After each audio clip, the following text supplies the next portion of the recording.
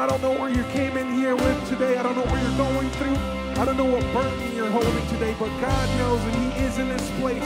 The victory is His. So I challenge you to just surrender everything that you have to Him this morning. Would you just raise your hands across this room and surrender your lives to Him? Surrender all the issues that you're going through right now. God